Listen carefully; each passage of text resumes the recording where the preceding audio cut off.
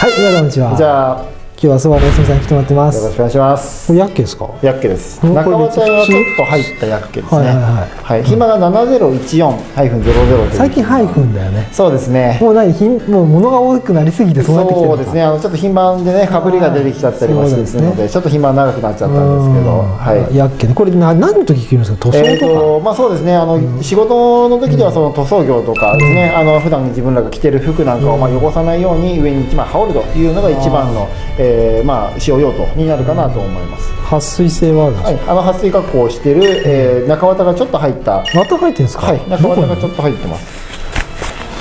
全体に入ってるね。はい。ちょっとだけ入ってます。かなり薄いのは薄いんですけど、まあ、薄い分動きやすいですしモコモコして作業しにくいとかいうこともないかなと、でまあちょっとパラパラっとね小雨降ってきたみたいな時にこうあの羽織ってもらうような形で、それカッパにはならないでしょ？そうですね、あの防水というほどではないので、あのカッパ代わりとにはならないんですけども、軽めのやつね。はい、軽めの分で。あ、これポケット、これなんですか？はい、何ポケット。あのカンガルーポケットで、カンガルーポケット今流行りの、はい、アノラックパーカーなどに。これアノラックパーカーですよねパーカーなどに使われているこれアノラックパーカーでしょポケ。ットがついてますので、これアノラックパーカーじゃないですか。完全にヤッケなのかアノラックパーカー。そうです、もう言い方なんですよね。言い方ですよね。はいアノラックパーカーですね。言い方が問題ですよね。イントネーションのものじゃないんですけど、これはあの、そうですうちはもう中綿ヤッケ。中綿入りヤッケ。はいおわ。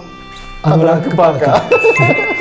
ぜひと。あ、これ色は？色3色あります、えーこれがネイビーですね、あとは全面黒のブラックあとはカモフラグレーという迷彩柄がありますのうんで、調整してますよね。えーその3色から選んでいただければと思います。ツートンはあないですか？とツートンはないです、うんあのカモフラグレーが黒とのツートンにはなってますあね。、そういうことなんですね。はいはい。あとズボンですね。ズボンの方は黒と、えーネイビーですね。うんこの2色は、えー黒あのーパンツも作ってますので、うんあの上下で使っていただければなとあ思います。ー値段安いんですよね。安いですね、これ、はい。値段もお安いですので、上代で2000円ぐらい。えーもうそんなに安くないです。あ、はい。まあ綿入ってるからね。はい。まあ低価格ということはい、低価格帯ですで。ね。ぜひともはい、7014。あのラックパーカー。あのラックパーカーよよろしくお願いしま。す。